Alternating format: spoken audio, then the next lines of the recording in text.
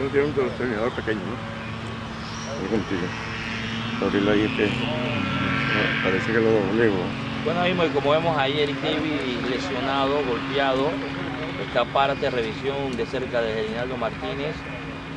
Lateral izquierdo golpeado, otra baja más que tiene el equipo nacional, aunque hay que ver si se puede recuperar y puede estar a tiempo para el partido del próximo.